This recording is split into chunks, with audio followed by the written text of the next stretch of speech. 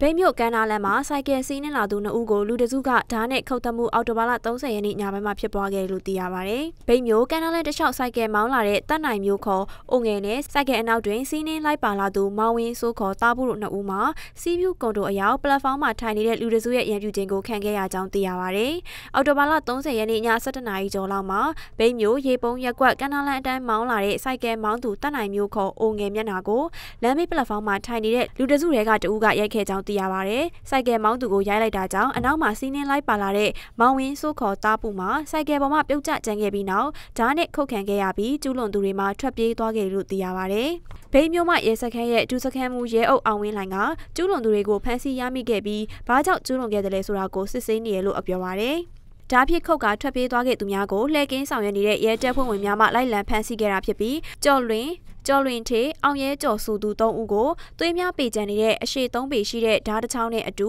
ချက်ချင်းဖမ်းဆီးရမိခဲ့တယ်လို့သိရပါဗျ။ဖြစ်စဉ်နဲ့ပတ်သက်ပြီးလူတအူးကိုအုပ်စုဖွဲ့ဓာဖြစ်ခုတ်တက်ခဲ့သူရေပုံးရက်ကွက်နေကျော်လွင်ဦးကျော်လွင်ထင်းနဲ့တာဂီတရက်ကွက်နေအောင်ရဲကျော်တို့ကိုဗိတ်မြို့မှရဲစခန်းမှပ2460မြေဆောင်